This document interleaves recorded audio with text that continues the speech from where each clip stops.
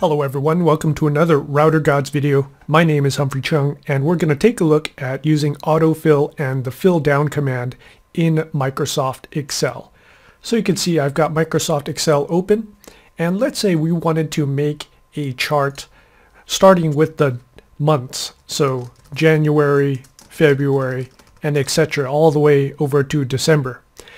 Now a lot of people what they would do is they would simply type in each month, hit tab, and basically keep on going. But that's really a complete waste of time. What you could do is use the autofill and the way to do that is just type in the first month, click on the month so it's selected, then you go into the bottom right hand corner and you'll see that your cursor turns into a plus. That means the autofill is ready to be set and all you have to do is hold down your left mouse button and then drag to the right. And as you see, as you drag, you get a preview of what will be put down in that cell.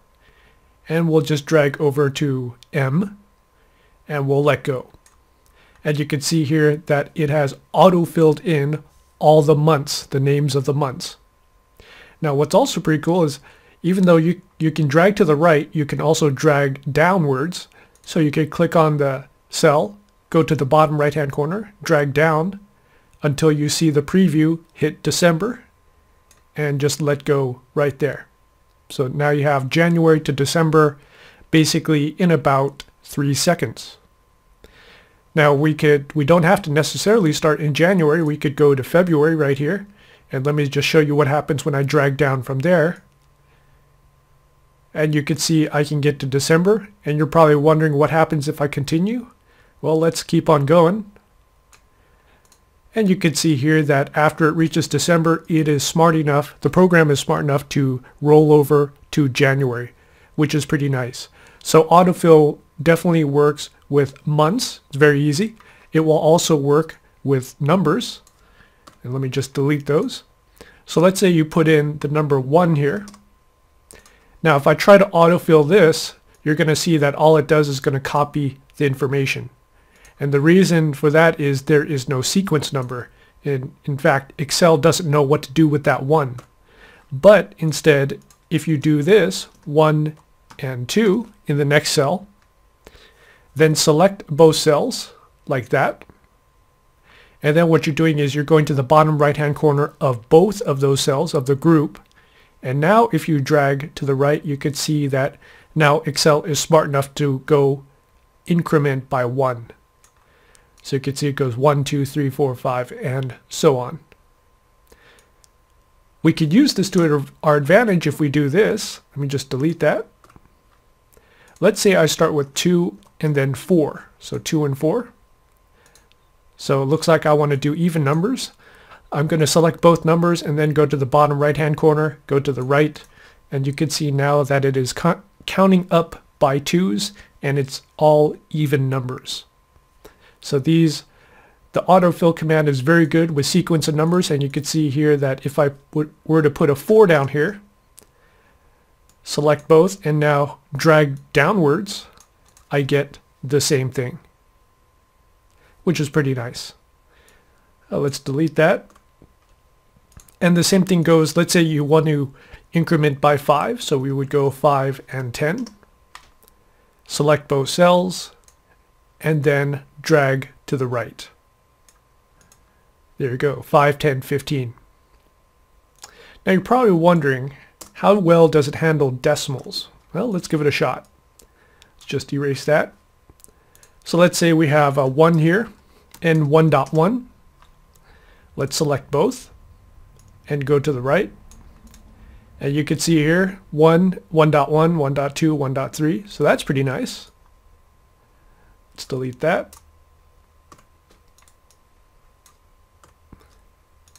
Let's see if it handles .25. So 1, 1.25, and we'll go up. Remember to select the bottom right hand corner for that autofill, and you can see it increments by 0.25 for every slot. So that's pretty nice. Okay, so so far we've seen everything increasing. Let's see if we can get things to decrease. Let's see if we could do that. So we'll do 1 and then 0.9. We'll select both. Click the bottom right hand corner, drag across. And now you can see it decreases by 0.10 on every slot. So we can get things to increase. We can also get them to decrease, which is very good. So that has to do with sequences of numbers. Now the fill down command is also very nice. Fill down is sort of related, but it actually doesn't increase or try to match the sequences. So let's say you have the word January. Now we all know that if you select the bottom right hand corner and you go down, it's going to increment the months. But we don't actually want to do that. We actually want to copy the word January all the way down because let's say you're making a yearly budget and this year is 2010 and I think with years uh, looks like we still have to do another number there. So 2010 2011 we're going to select both cells right there going to drag across. And let's say we were projecting a budget all the way out to 2025 something like that. Okay now you also see that the columns, some of the columns are unevenly spaced and then we have the H column here which is too small. Re the reason you know it's too small, it is showing the number of the hash marks right there and we could drag across to show the whole thing. But if you, here's another trick for you. What some people do is they double click in between each cell to expand them. So we do that, we do that, you know, you get the spacing correct. But there's actually another way to do it. And let me just shorten everything up to show you. Okay, so it would be kind of a pain in the butt to continuously click across each one of these divisions to get these cells and these columns to space out. What I can do is actually do this, select all the cells right there.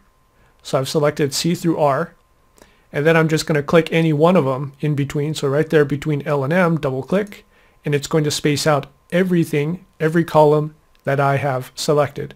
So that should save you a lot more time. Another function we can play around with is the fill down command, and it's sort of related to the autofill, but it works a little differently.